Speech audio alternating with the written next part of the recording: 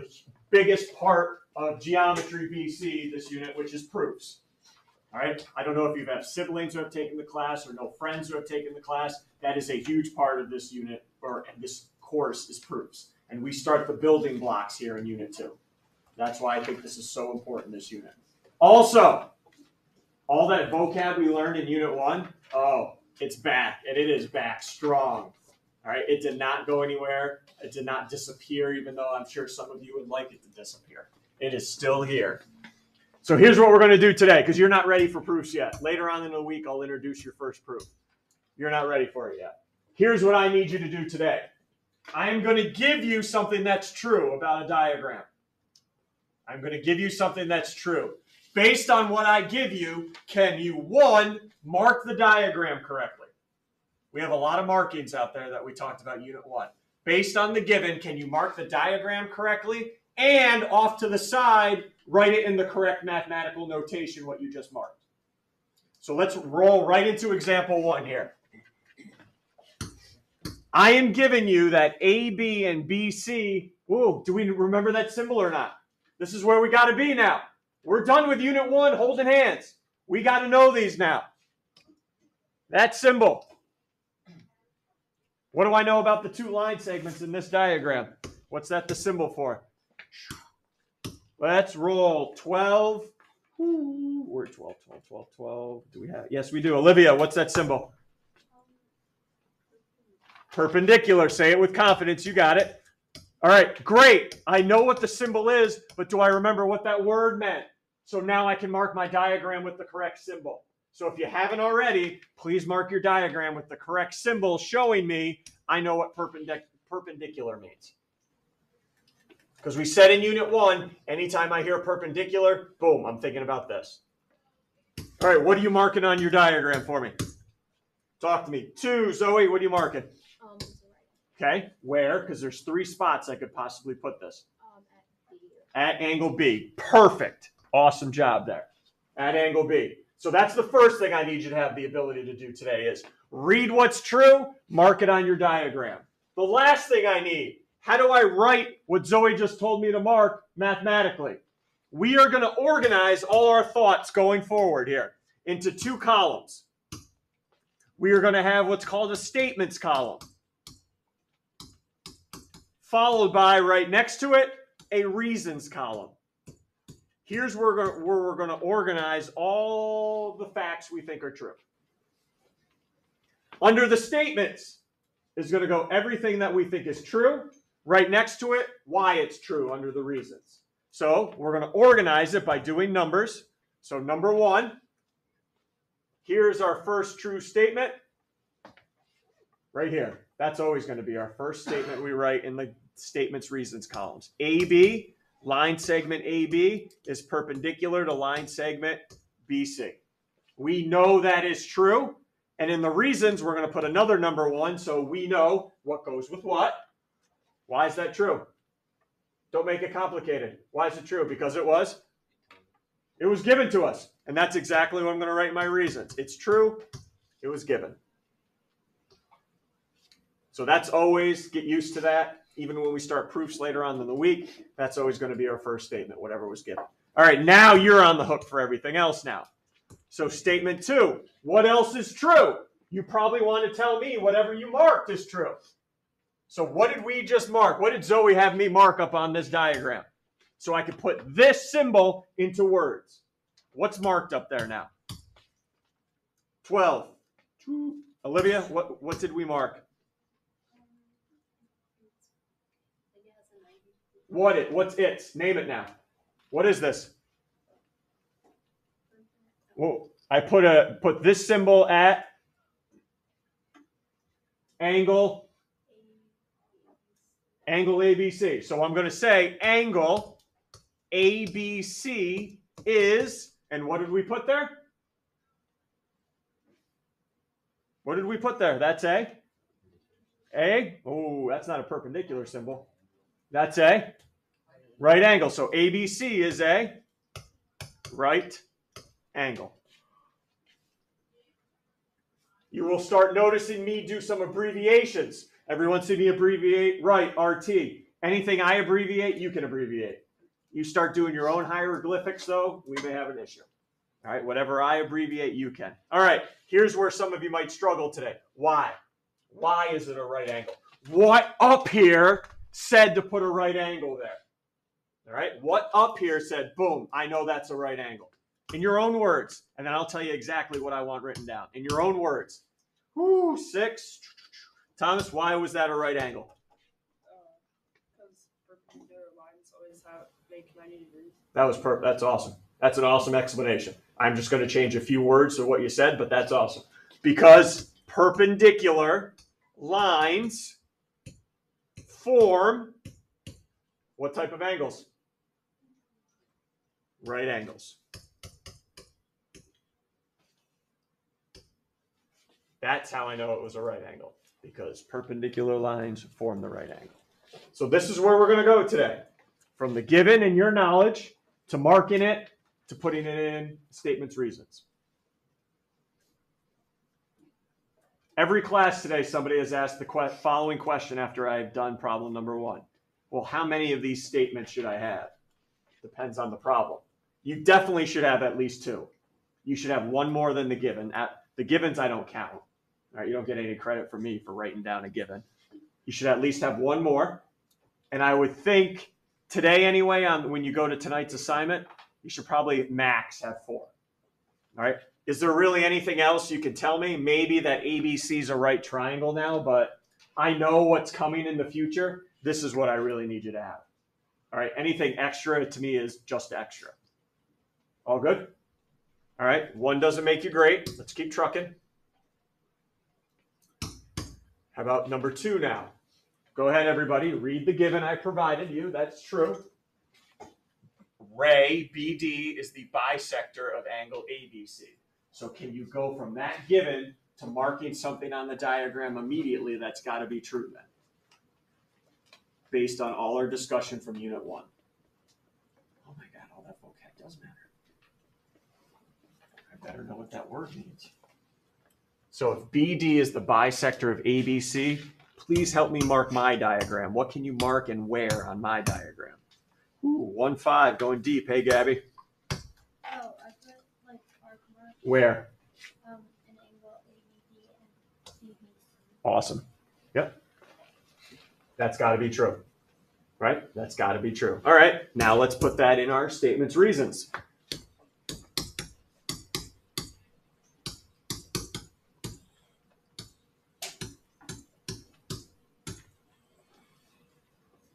So first thing we know is true. BD is the bisector of angle ABC.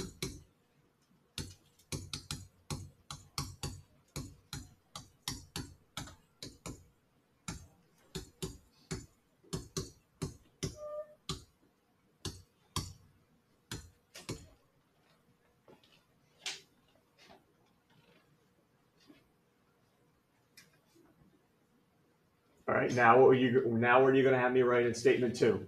Take your markings, now write it symbolically. What do you want me to write in number two now? What's true now? Oh boy. Oh, the suspense is killing. Hey, ooh, hey, Josh. Um, the angle ABD is congruent to the angle DBC. Good. And we remember the congruent symbol.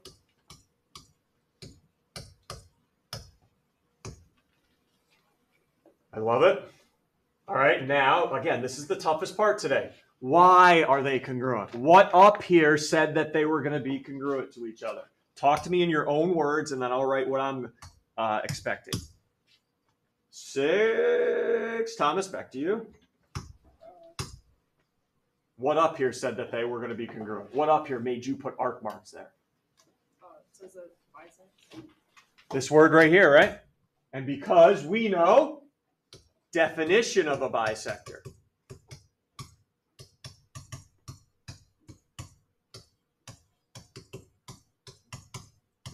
There you go. Does that make sense there? Definition of, well, cuts it into two congruent ones. Oh, I'm not done yet. I am not done. Remember, I said it could be two, could be more. I want more now. I'm hungry. I'm hungry, and so are you. I want more true info about this diagram, other than those two are equal. And I'm having you go further because you'll need this sooner or later when we start the real deal proofs. All right, I know a bisector cuts an angle into two congruent angles, and what does it do to the whole angle? Cuts the whole angle in half. Yes, that's what I want to write down now as well. Is that, hey, half, oops, sorry, or not, there we go. Half of the whole angle ABC is equal to, name one of the two angles now. Half of ABC is the same as angle, pick one, doesn't matter, they're both correct. ABD. ABD, or you could go CBD. Okay, yeah, that's what also what a bisector does. Cuts an angle into half, not into just two congruent parts, but also cuts it in half. And what do you think I'm going to put for the reason? How do I know it cuts it in half? Definition of? Definition of? Bisector. Now, hey, this will be the this was the last time I ever read out the word definition. DEF. All right, we can do that for definition. And no, you cannot abbreviate bisector. Oh, what's what's wrong with BIS? I don't know. It could be Bisquick. Other words that start with BIS, I guess. All right. Okay, we're good. So there are two things you can get from a bisector. The two pieces are equal, and the I take half the angle. All right, on to three. Uh, as soon as you guys get to three, you'll notice a given, but what is missing? What's missing here? There's nothing to mark because I didn't provide a. Oh, so sad, honors kids. How about you make your own? How does he not provide a diagram? Suck it up.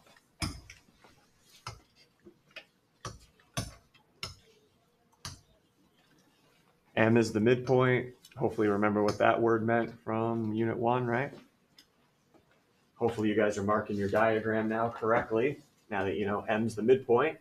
And speaking of marking it correctly, mark it for me. What you, markings are you putting on here and where? Seven, Amy? Uh, a, um, line segment AM and MB are congruent. They are. So what? What are those you want me to put on there to show? Um, the tick marks. I'll, I'll, yeah, yeah. Tick marks, hash marks. Yep, you're good. Good enough for me. All right, statements, reasons time.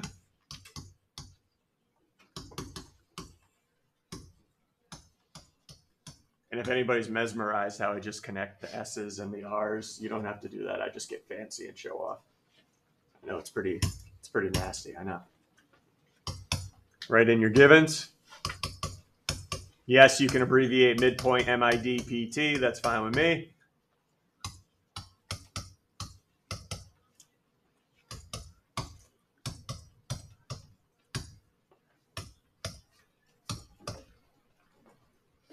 Okay, next up, what we just marked in the diagram. Line segment AM is congruent to line segment MB. Ooh, what do you think I'm going to write here based on last proof here? How do you know that those two are equal? What up here tells you those two are equal? Talk to me. 11 will.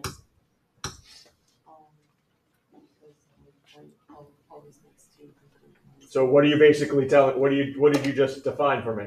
A midpoint, right? So definition of a midpoint.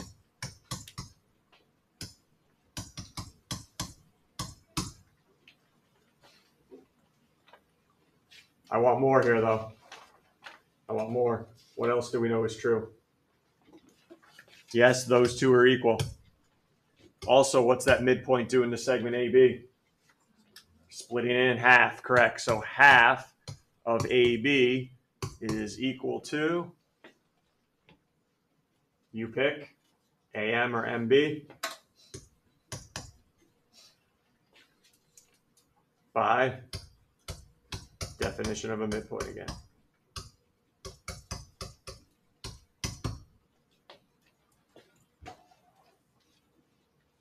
How's everyone feeling? All right. All right. Number the last one's unique now. All right. This is a unique one that you might come come across every once in a while, where there's no cool vocabulary term in the given. Right. First one we had what? Uh, what was the first one? Perpendicular. Second one we had bisector. Last one we had midpoint. No vocabulary term shows up here. All I provided you is a simple diagram. Intersects isn't a vocabulary word. Let's get real. All right, so we're going to have to take that diagram, take a peek at it, and say, oh, oh, I remember these from Unit 1, and this is what I know about it. All right, can we see that at all? Up here in example 4. There's nothing you can, like, midpoint, by, don't add in words that aren't there. Do not put in vocabulary terms that are not there. You need to just look at the diagram and give me something from the diagram. You got it, Jeff? Um, like S and the angle above it are equal to each Don't say the angle above it. Name it correctly. You're better than that. S angle W. S, what's angle S? I see four angle S's up here. And angle. Okay, whoa, whoa, whoa, whoa. Okay, du- let me start with WSI. Everyone sees that angle. All right, WSI and what's the other one? Thank you, ESR. Good, we're naming them properly. Everyone see those two? She's claiming they're equal, huh? They're equal from last unit? So I should be putting my arc marks there.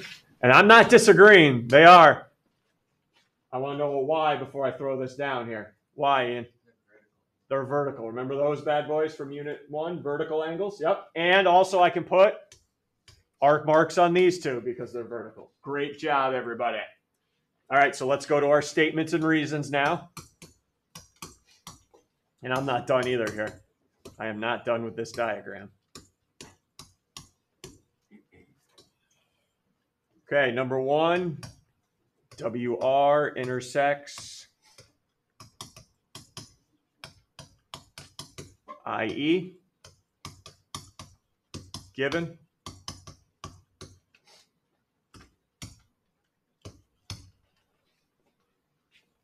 Now tell me angle WSI. Again, make sure we name these with three letters. Congruent to ESR. I'm going to do something I have yet not done today. Take a look. I'm also going to put the other pair of vertical angles in the same statement. Why? Because they're both going to have the same reason why they're congruent here. If if you want to separate into a statement three, maybe make the proof a maybe make this a little bit longer because you think you're you know you want to show everyone you're a little smarter than you actually are. Go ahead. Doesn't matter. You put both pair in the same statement or make it separate statements. Both are correct. So what do I have here? WSE is congruent to ISR. I know what many of you want to put down because of our last two problems. You want to put definition of vertical angles. But the definition of a vertical angle is not that they're congruent. The definition is they're opposite each other when two lines intersect. All right, that's not what I want to write here, definition of vertical, because that's not true. If you remember in unit one, you remember this word popping up a few times? Remember that word? A true fact in geometry, and we actually wrote two of them. One of them was about vertical angles. And it said vertical angles are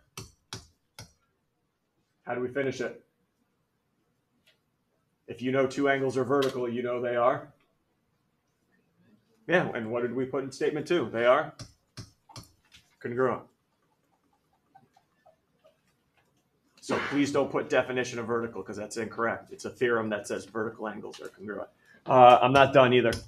I want more. There's something else up here. I think you guys do. So, Angle ESW. okay, hold on. I want to go slow so everyone can know what you're talking about.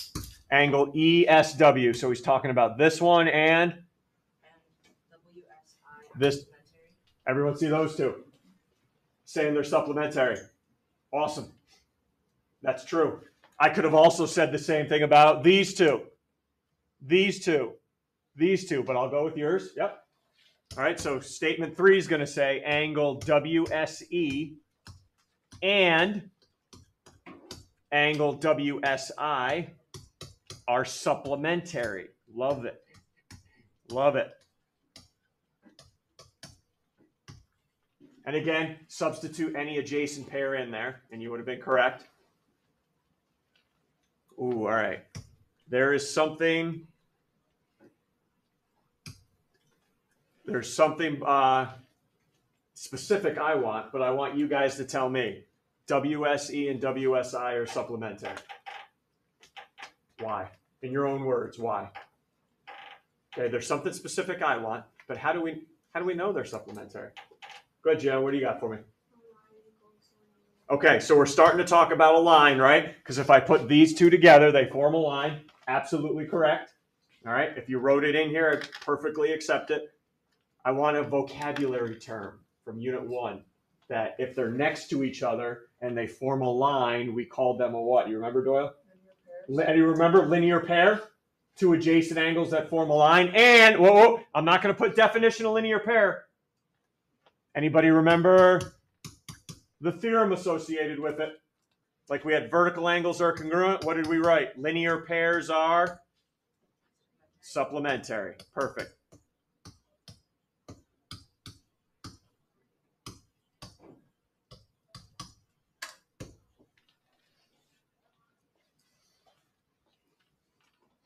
And honestly, I, I'm not, I don't want to say 100% because it might be given, but anytime you say, tell me two angles are supplementary, here's the reason linear pairs are supplementary. All right. So that's what you're going to do here with the rest of the time on tonight's assignment. Now, do you understand? I want to see your own thinking instead of going to the classroom and copying what I think. I want to see what you're thinking here. I will only warn you on one of the problems tonight. Please go to number five for the, one of the problems tonight. I just want to warn you about something that's a common rookie mistake. Everyone see the given on number five, H and M are supplementary, right? Meaning they what? You know what about H and M? They add to 180, right? That's probably going to be your statement number two. What I don't want you to write is that H and M are 90 degrees. Do you see anything on the givens about their perpendicular? Either do I. And the only reason you're telling me they're 90 is because they look like it.